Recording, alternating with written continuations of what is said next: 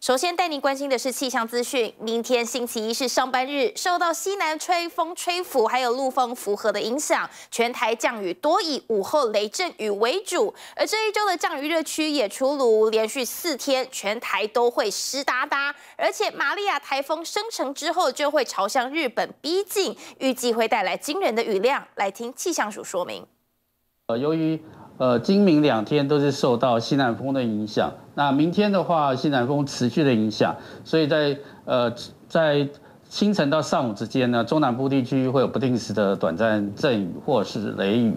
然后在中午过后呢，各地的山区还是可能会有局部大雨发生的几率，要特别留意一下。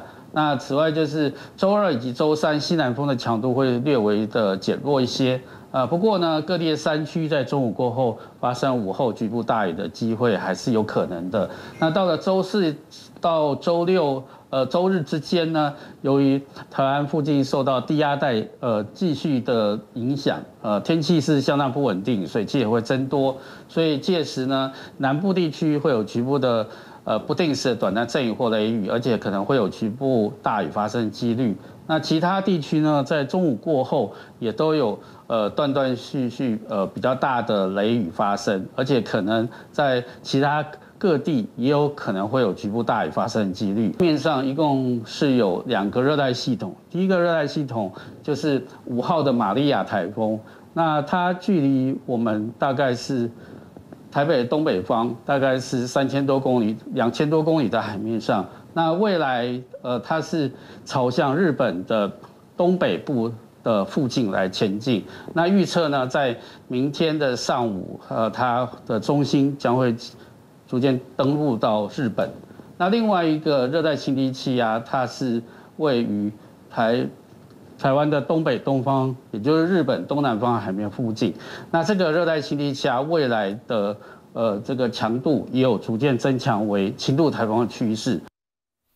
而接下来看到高雄大寮发生了一起警车遭到冲撞的事件，有一名驾驶因为行车车线道被拦查，没想到他停靠路边的时候，突然追撞了巡逻车，当场被远警给抓下车上铐逮捕。更多详情，连线记者林佑璇。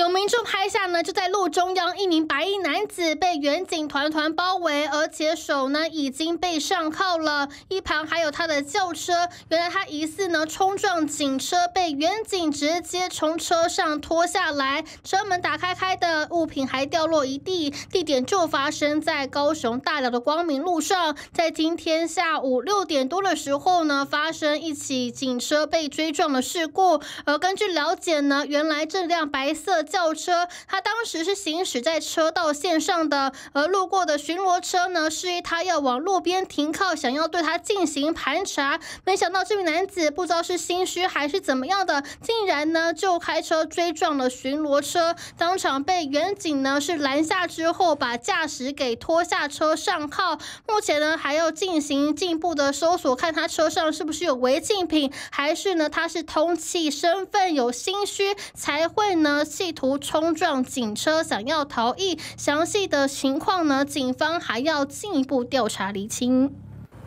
而桃园有男子帮朋友解决违建的问题，结果被亲友丢铁椅还有砖块，他当场录影搜证之后提告恐吓。不过官司过了一年之后没有收到公文，他到地检署询问才知道已经结案了。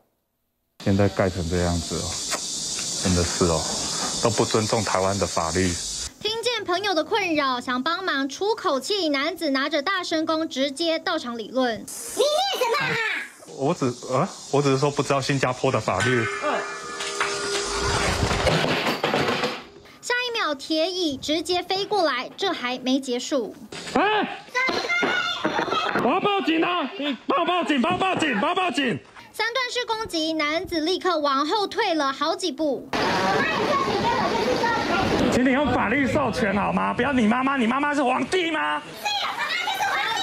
远警都到场了，双方火气还是很大。一被攻击之后，其实警察也有来。那警察来的时候，因为他们已经，他们不是当面看到，就是对方攻击我的那个情况。半黑人事后提供影片提告恐吓，但这官司整整一年多毫无消息。在当月的九月四号就已经送到那个地检署了，他们警方是这样讲，那只是不知道为什么到地检署之后就一直没有后续。直到他亲自到地检署询问，才发现案件已经结案。那我当时就有点错愕，我就说：“哎，我可是我都没有收到任何的可能裁定书或被起诉书或起诉书之类的公文。”他们觉得他们地检署是没有问题，应该都有记，但是可。就是我就是没有收到。正常流程，只要民众报案，检察官就会开庭调查。但律师说，还是有可能不开庭就结案。假设检察官认为告诉人所持的资料呢明显不足，或者是证据不够充分的话，的确是有可能不开庭而直接结案处理。但原则上呢，还是会将所谓的不起诉处分书寄给告诉人。实际打电话询问丢砖块的女子，但她没接手机，尚未取得回应。关心朋友家的违建问题，最后演变成纷争，男女双方的提告案件也不止一起。T V B 新闻黄华玲身份桃园采访报道。这也是因为纠纷起口角的，只是这是兄弟吵架，弟弟竟然在屋内泼汽油，警消获报到场，连忙将弟弟送医。即使他人已经躺在担架上了，还是举起拳头挥舞，疑似又和哥哥隔空互呛。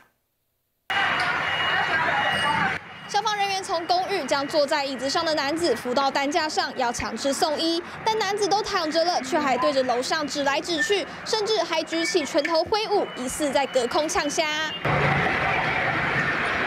而公寓外面地上还有楼梯间全都是汽油，一旁还有一大罐汽油桶快要倒光光，其他住户家外面被波及，只好拿出拖把清理，实在好傻眼。臭到我连房间我是讲当初我卫生，天天看是毋是咱来搞一规模，然后放规模放咱臭干，我今日去啊看讲是三毛倒去。事情就发生在十一号上午十点多，桃园一间公寓。原来三楼住着一对兄弟和生病的母亲，平时他们都会照顾母亲。不过弟弟和哥哥却时常发生争执。没想到弟弟这次竟然在住家内泼汽油，吓得哥哥赶紧报警求救。警校到场后，立刻将弟弟制服，强制送医。妈妈生病了，然后因为他们那两兄弟之前妈妈还在的时候就常常在打架，因为弟弟他是长战，然后两个兄弟过去的。你有听到吵架吗？早上就。有在那边那个大小声的。邻居都说知道兄弟俩很常争执吵架，但没想到这次却气到泼汽油，让他们都吓了好大一跳。要是不幸整栋公寓烧了起来，后果恐怕不是兄弟俩能够承担的。TVB 新闻廖宗庆、陈家彤桃园采访报道。而这个振奋全国的好消息，就是林玉婷勇夺金牌，也让一张照片预言成真。那就是赛前林洋配带着金牌帮林玉婷加油集气，这下子等于是三个金牌选手提前同框。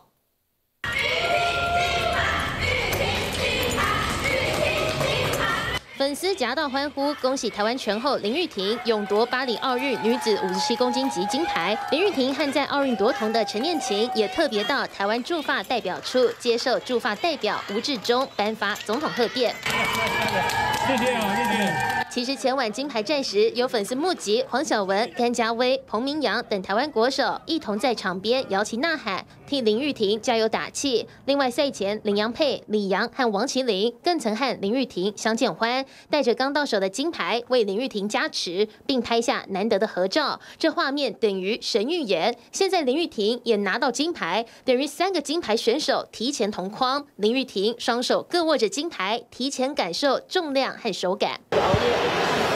有有有有，一定一定要一定要一定要，就就非常热血，所以今天就还是哦。觉得很很开心、很兴奋。我觉得用成绩去打脸这些外在的声音，就是最好最好的方式。所以真的很开心，他能夺冠。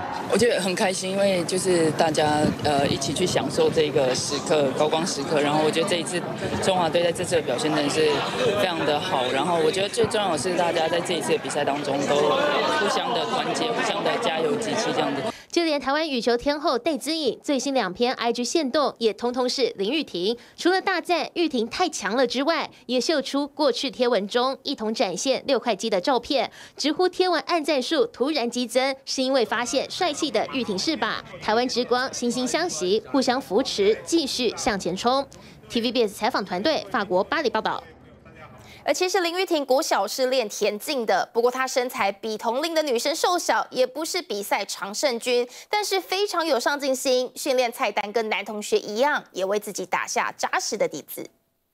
那男生呢都有拿奖状，玉婷呢，她就在旁边看着，这样那是大比赛。身穿红色上衣、戴着细框眼镜的文静女孩，没有人不认识她。她是夺下奥运金牌的台湾拳后林玉婷。不过其实她以前可不是比赛中的常胜军，五六年级一百四十左右，所以呃。那时候身材条件不是很好，像平常跑步的时候，别人跑一步，他可能要跑两步。国小的他在班导师启蒙下开始接触田径，在学校爆发力、速度表现出色，六十公尺短跑还曾跑过八秒多，比一般同龄的女生快一到两秒。很有运动天分，不过因为身材瘦小，大奖总是奖落别人家。她是唯一的女生。然后剩下的是四个原住民的男生，一定会比不上，但是他就是不放弃啊。林玉婷上进不服输，训练菜单全都跟一起训练的男同学同一标准，为自己打下扎实的运动底子。不仅会运动，班导师说他的功课还不错，有时还能考进班排前五。因缘际会下，国中改练拳击，改变了他的一生。场上拼劲十足，但私下的林玉婷内心很温柔。所以他真的就是柔能可感。如果小朋友在吵架，他说他就有正义感了说。你怎么可以这样对人家？看到林玉婷近期承受的谩骂，班导跟教练说真的很不舍，不过也赞赏林玉婷一路撑过来，成为后辈的最佳榜样。觉得这么这么善良的小女孩，然后还要承受这么大的压力，所以哦，就算我再辛苦，我都要跳出来讲话。我想给一些运动员没有坚持下去，很多运动员他都没办法坚持。玉婷今天所以可以拿到金牌，是因为她坚持。林玉婷挺过性别争议，替台湾夺下金牌，也让台湾拳击在国际展露一束光。TVB 新闻电视米杰台北报道。只是林玉婷在金牌战对决二十岁的波兰对手瑟瑞梅塔，先前她疑似是贴出讽刺性别的文章，瑟瑞梅塔澄清不是她发的，但现在又被发现疑似转发文章，再度偷酸林玉婷。金牌战结束，所有纷扰也落幕。二十岁的波兰小将瑟瑞梅塔在分出胜负之后，比出爱心，还主动上前拥抱我国拳击好手林玉婷。英雄惜英雄，林玉婷跟瑟瑞梅塔双手紧握，互相勉励。林玉婷还在颁奖上帮瑟瑞梅塔乔衣领，会让大家这么意外，是因为先前传出瑟瑞梅塔在比赛前贴出讽刺贴文，指称自己是最后一个争夺金牌的女人，引发争议。不过，瑟瑞梅塔最新接受波兰媒体访问提到，奥运期间远离社群，澄清贴文绝对不是自己发的，教练看到之后也命令删除，只是。就在瑟瑞梅塔接受访问后，网友发现他转发粉丝们动态中，其中一则内容翻译说到，在一场不公平战争中赢得了银牌，疑似偷臭林玉婷，让台湾网友再炮轰，难道是假面甜心？不过仔细看，瑟瑞梅塔也只是转发粉丝贴文。比赛就是这样嘛，哈，就是赛前我如果能用任何的战术来干扰到你，然后达到我的达达到我的结果，那就这样。林玉婷无端卷入性别风波还没结束。前世界网球球后、绰号“女金刚”的美国籍选手娜拉提洛瓦再度批评，这就是让男性和女性竞争的结果。尤其是在拳击运动中，你其实不需要任何技术，因为你的拳击力道远比对手强得多。这样的做法真是卑鄙且危险，引发网友不满开轰。如果你被影响了，那就代表人家的战术成功了。那。你这样就不会是一位好的选手。还有四强赛时比出 S 讽刺的土耳其选手卡拉曼，也在颁奖台上主动拥抱林玉婷，甚至看到林玉婷落泪，还帮忙拍背安慰。无论选手们施出善意，真实心态如何，林玉婷走自己的路，不会被流言蜚语影响。DBS 新闻综合报道。只是林玉婷的性别争议却被网红统神逆风认为对手提出性别的质疑是很合理的。德国的公共电视台转播员甚至还说林玉婷是跨性别者，驻德代表已经要求道歉。你因为台湾人，你一定要挺台湾人，那你是相怨，那你是。今天他的对手去质疑这个事情很合理。同声直播逆风认同林玉婷对手质疑性别很合理。那个奥运那边就说，呃，林玉婷有过，然后后来就有些人说，那你那个奥运的标准，那个搞不同，你的那个数据要拿出来啊！啊，奥运单位也可以不拿出来，我就说你不拿出来就是一直被质疑啊！我是你的对手，我今天打输你，我不能提出你任何质疑，是不是？不是啊，那个东西没有提出质疑是绝对没有问题的了。先前 IOC 早就声明，选手比赛前一年睾固酮数值必须低于十。林玉婷也确实符合规定。原本直播影片争议片段疑似消失，网友也在上面留言问为何删影片？只是统神是否被其他讯息误导不知道，但网络上的相关讯息确实不少。有没有中国在这里面见缝插针？那其实呢，在这个事情还没有爆发以前，就已经有中国的足迹，包含呢有大量中国的账号呢，尤其是在 X 上面呢，去散布这些不实的消息，制作相关的影片。传出国安系统也在抓可疑账号，分为三个阶段：第一，恶意攻击台湾国家队成绩；第二，踩着台湾推崇中国；第三，针对我国选手发动人身攻击。确实，各大平台随便搜寻都有，但到底是不是认知战，谁说了算？国安单位说他们可以从呃网站上去查看看这些网址是在从哪里攻击过来的，那最好都把它公布出来。最好是在比赛前就公布出来，不要比赛之后才在马后炮。不止网络平台，就连德国公共电视台转播人员都直接说林玉婷是双性或跨性别。对此，驻德代表谢志伟以官方名义寄抗议信，说这转播员未提出任何证据，又谈到不正当的医药手段，如此不专业的行为，他们欠我们一个真诚的道歉。外管迅速动起来，或许也是不想事后被说抗议，慢慢拍。第二新闻综合报道。而民众党主席柯文哲政治现金连环爆，如今活动行销厂商尼奥以及石乐两间公司被起底，涉及位置还有负责人是一样的。而民众党决定在明天召开记者会。陷入假账风波的民众党主席柯文哲是被活动行销公司尼奥以及石乐声称根本没收到民众党所申报的三笔九百多万的支出，而这两间公司呢，涉及都是位在台北市内湖区的成功路上，而且负责人都是同一人。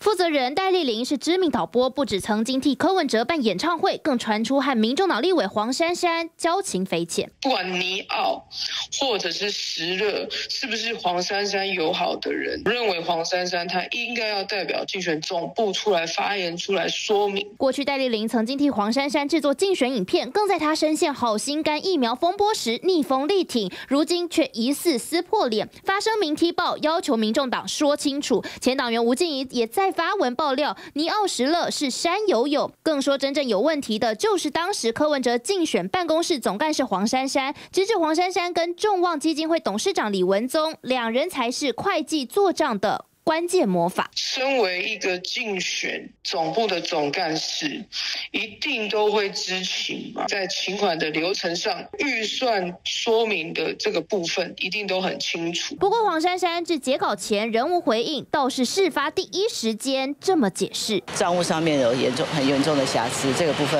也很抱歉。把种种复杂关系归类账务上瑕疵，但这看在曾经友好的戴丽玲眼里，恐怕不是滋味。找来议员帮忙。发声，这戴丽丽女士还有找我澄清啊，就是她查过，他们公司没有开那三笔九百一十三万的发票，指控这九百多万可能是伪造而来。国民党议员钟小平更要在十二号到北检控告柯文哲，基进党高雄党部执行长也线上向监察院检举，毕竟要证明柯文哲的清廉与否，得先厘清这些钱到底流向何方。TVB 李明辉、钟永轩台北采访报道。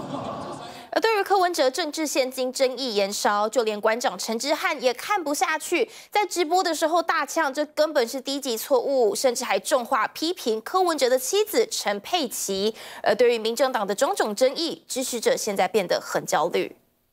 民众党预计周三在 The Lunch 举办草庐讲堂。原本这场活动的定调是传说中的小草咖啡厅首次曝光，不过疑似是因进来各种争议，后来的宣传就把小草咖啡厅悄悄拿掉了。或许就是因为柯文哲妻子陈佩琪说想开小草咖啡厅，却违法设立人头公司，就连一向支持民众党的馆长陈之汉也崩溃大叹：陈佩琪夫人。你自己知道你自己在写什么东西吗？你贴文的时候到底有没有用脑袋去看？用马戏后啊？我是拿着拿着家底嘞，跟你们走嘞。用词超重，直播开呛四十分钟。柯文哲近期各种争议，小草都看在眼里，心里真的急。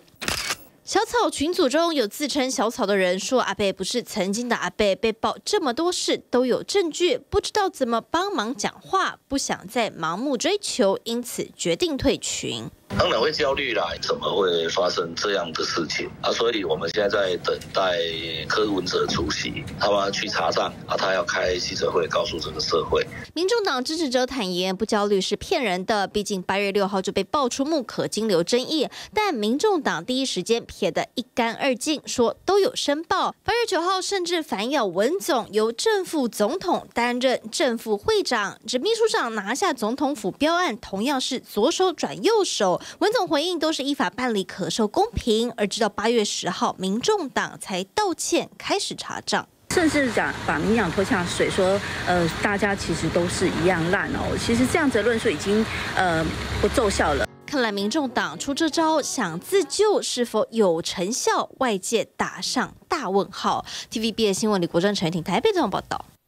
社会焦点看到新北市三重有骑士目击一名男子突然把建案看板往马路中央丢，还差点砸到人。原来疑似是旁边诊所的员工不满举牌员把看板摆在门口骑楼，才会气得拆下来往外丢。骑士吓得急忙减速，因为有东西突然飞到马路中央。转头一看，原来是建案的广告看板，上头还有固定用的木头和绳子，差点碾过。监视器也拍下夸张瞬间，看板就是被这名穿白袍的男子丢出去，也不顾旁人阻止，甚至椅子、包包也都遭殃，差点波及路过车辆。一名阿姨和阿北急忙上前捡回来，但怎么会惹怒对方？没有拿，他只没有拿水果，他就很生气，就出来就把他拆下来，就往马路中间。地点在新北市三重一处诊所门口，由于附近有市场，人潮车潮很多，加上有不少建案，整条路上不少建案的举牌员，丢人看板的则疑似是诊所员工，而我们也实际找到受害的举牌阿伯。包包拢嘛等咧外口做人皮啊，拢嘛等咧外口做。伊讲袂使放鞋啊，就人因要放机车安尼啦。我昨昏才开始啊。然后再开戏。对啊，啊那嘛唔知啊。原来这名阿伯已经高龄八十二岁，为了养活自己，出来当举牌员，一天只赚八百。当天他是第一次到诊所前面摆，怎知引来对方不满。伊是有权利甲咱讲，卖咱嘛叫话讲歹势。哎有一群人来甲单掉，啊委屈嘛就无法度啊，啊咱为了老伙仔要赚几千钱啊，你甲咱糟蹋，咱也莫发生代志就好啊，对吧？可依法开罚一千两百元至两千四百元罚款，并已造成道路上公众往来通行之危险，恐违反刑法公共危险罪。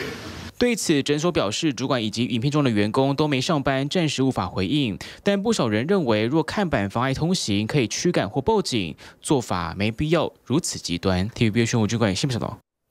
彰化有名十九岁的病患因为车祸住院，在办理出院的时候，疑似不耐酒后，直接在医院里大声咆哮，就怕引发冲突，医护人员赶快报警处理，结果病患自称是伤到头壳，还骂最讨厌警察。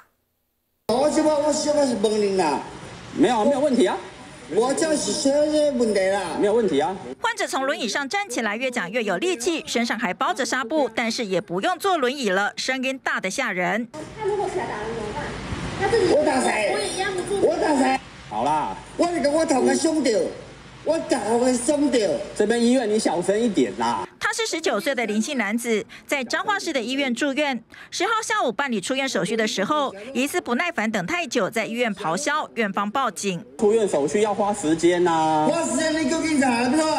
我们了解。啊，你就讲话那么大声。这边。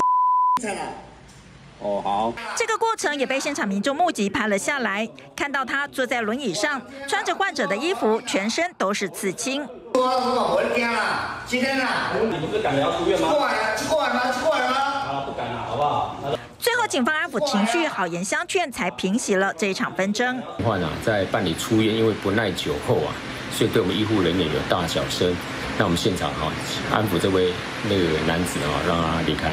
男子受伤住院，情绪不佳，期间也让医护人员大伤脑筋，最后要出院了，还气愤咆哮，闹到报警。不过警方好言相劝之后，顺利平息。医院不追究，要是根据医疗法，对医事人员胁迫、恐吓、妨害执行医疗勤务，可以处三年以下有期徒刑，得并科新台币三十万元以下罚金。TBS 新闻陈志忠、吴淑平彰化报道。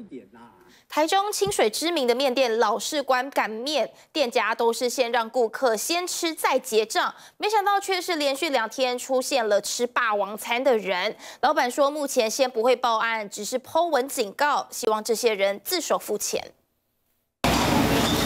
台中清水营业超过五十年的老式官擀面，主打手工面条现煮的古早味，还曾入选过比比登推荐名单。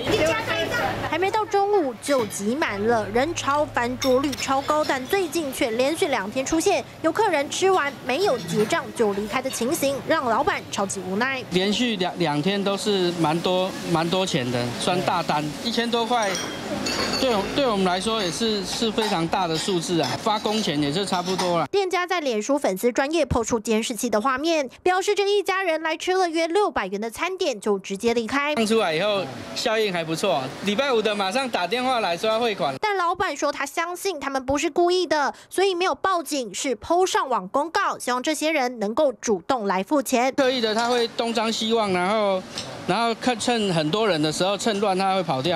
而且会一个一个走。老板说他相信人性本善，所以让内用的顾客吃完再结账离开。但是人潮一多，没有多加注意，就会出现有人吃霸王餐的状况。我我相信是人性本善呐，没有人会想要干这种事啊。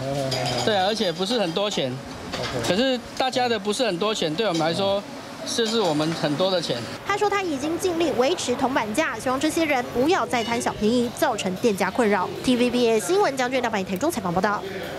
但接下来这似乎真的是遇到恶搞的民众。左营有餐厅连续接到一块钱塑胶袋订单，外送员取餐后发现送餐的地址就是这个店家，所以店家还要再倒贴外送费，这才让店家惊觉是不是真的被恶作剧了。哎，那时候一开始是这一张，然后我们想说客人可能是点错，所以我们就把它退掉。那过一下，这个原本的客人他又再点了一次，然后我们也接单。对，然后后来。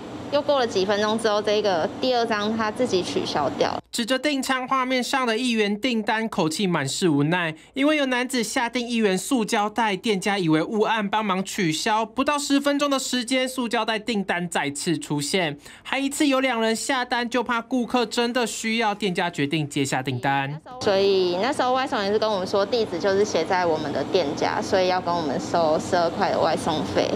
没想到外送员一到，却说送餐地址就是你们这里，要收取十二块外送费。当下店家怕耽误对方时间，没有想太多，就先付了钱。那时候没有想太多，那后来想想，会不会是外送员自己想要赚那个外送费？因为难道就是只有他们餐厅自己用啊，你的蛋也没有拿。会有额外的费用吗？不会，不会，不会。不会而这起恶搞事件发生在高雄左营一家餐厅，九号下午五点多，正值用餐时间，店家忙进忙出，一听见外送员急着送其他订单，只好先支付塑胶袋的十二元外送费。没想到竟然遭到恶搞，平台业者也说，外送员如果向店家收费是不正常程序，提醒店家要注意。不过一元塑胶袋订单还真的有外送员接过，真的，你真的收寄一个塑胶袋哦？结果他他去那边叫我帮他倒垃圾。在那个左营大路，他好像搬到男子一个塑胶袋。对我，我后面我前两次都有做了，后来他搬到男子，我就不做了。他明明专职送餐，到了现场却被迫斜杠当起清洁工，帮忙倒垃圾。外送员傻眼，但为了订单费用，还是乖乖照做。送了两次，直到对方搬家才结束这一波荒谬订单。TVBS 新闻哀昭贤、卢品浩高雄报道。来看这挂假车牌，结果碰到警察拦检，心虚逃逸。发生在宜兰，是一名保时捷的车主，在国道五号被拦下之后，加速了逃逸。原来是今年三月份，因为超速被扣牌，为了想继续开他的名车，所以是上网买了假车牌。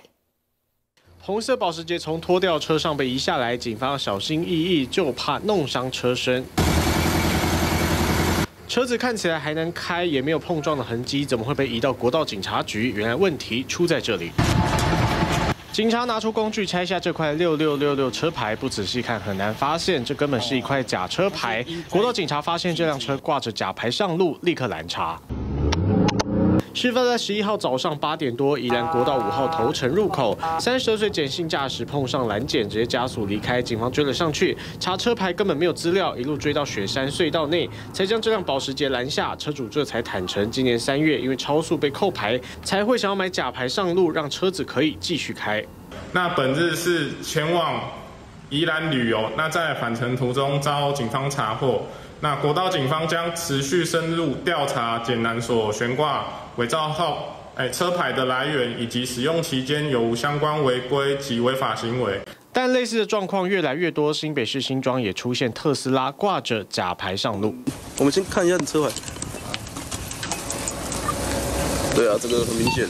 车牌竟然是塑胶材质，一眼就被警察看穿。三十四岁唐姓男子被当街拦下。他工程师之前帮朋友载人，不知道对方是要载客人，违法载客被拦查查扣车牌，才会去定制自己车号的假牌。这种行为已经涉嫌伪造特种文书罪，最高可处一年徒刑。另外，根据道交条例，最高能罚超过一万。但假牌越来越泛滥，光靠警察追就怕追不完。各地警方开始用 AI 巡防系统辅助。以桃园为例，今年五到七月，AI 系统帮忙查获了一百五十一件，要遏制路上假车牌越来越多，民众不想要被扣牌，无法开车。就不要违规。TVBS 新闻综合报道。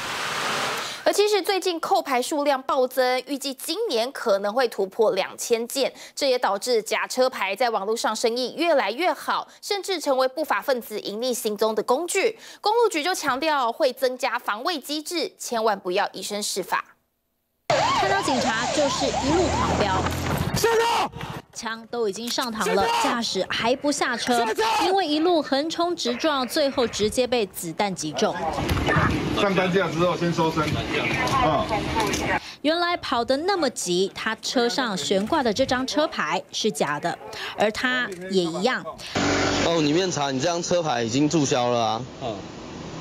那你怎么还贴这个车牌？我不知道。远远看，其实真的看不太出来，得要拔下来。敲一敲，再仔细摸，才会发现车牌是伪造的。近来有不少警方在路上拦检，时不时就发现驾驶用上假车牌的情况越来越多。本来在二零二二年时，国道警方查获假车牌的通报件数约五百一十九件，但在二零二三年增加了快一倍，今年才刚六月份就已经来到八百三十七件，预估可能将突破两千件。伪造跟变造的车牌现在是越来越多了，检警也推测，就是因为酒驾跟超速的处罚条例修法后，扣牌数增加，也让这些不法分子发现有利可图，而这类的犯罪行为其实也很常用上。我一般来说，会用假车牌犯案的，无非是不想让警察查到涉案者的真实身份。那因此，我们常常会在重大的枪击杀人、掳人勒赎、组织犯罪，还有强盗抢夺等案件，看到这些假车牌出现的身影。那歹徒在网络上购买制作精美、惟妙惟肖的假车牌挂上以后，企图误导警察办案，但最后真正倒霉的却是这个车牌的真正车主。确实，近期在网络上就曾经出现不少卖场。打着客制化，还标榜把原车牌的品质交给你，嚣张行销几乎随处可见。或许本来只是单纯提供给遭扣牌车主一个便利的选项，毕竟超速扣牌一扣就是六个月，没车牌没办法上路，悬挂假的不要被远景拦下，或是上国道经过 ETC 就不会被发现。但越来越猖獗的后果，到头来让不法分子也纷纷选择用这种方式为非作歹，像日前台南渔会理事长。遭枪杀，嫌犯驾驶车辆就是悬挂伪造车牌，本来为了解决交通安全，却反而衍生出治安问题。所以那现在扣牌量暴增之后，那民众自己去应对，就一定会有产生这种假牌的量会增加，这个也都是可以预期的事情。那假牌的量增加的时候，它会牵动的是其他不是交通违规的。犯罪或者违规行为，那这个就会比较因小失大，会比较麻烦一点呐。本来是交通组的问题，变成刑事组，那就就反而是问题会变严重啊。所以我觉得在根本的上游化的上游化的对策来说，既然那个速线超速的这个法都已经修了，那接下来速线相关速线的修正，还有或者是说反过来你要修正你的道路设计，这个配套都要赶快进行。伪造车牌成为一个怪异的产业链。公路局也强调，近期已经开会研拟新的防卫方式，原本五到六个，未来可能增加到十项。尤其在科技执法方面，也会联合稽查单位。现在事实上有一个非常重要，就是建入建立一个灰名单。为什么叫灰名单，不是黑名单？我们从这个呃友军里面，你同时间不同地点出现这样的一个号牌。那这种情形，那就可能其中一个是真的，一个是假的，或者是呃，你呃没有前后的悬挂号牌，那这个我们都有建进入在我们的监理系统里面做注记。那警察或者是呃停管单位在输入我们的停车资料的时候。那就会跳出这个灰名单，增加防卫机制，线上灰名单，再加上跟网络卖场合作，主管机关希望在三管齐下，防堵假车牌继续在路上爬爬照。或许悬挂假车牌的罚则再提高些，毕竟一万零八千元相对较低的罚款，也让车主有了想偷鸡摸狗的念头。TVB 新闻郑胜伟、谢伦台北采访报道。TVBS 大运动家跟运动迷一起竞技的殿堂，马上下载，跟中华队一起 all in。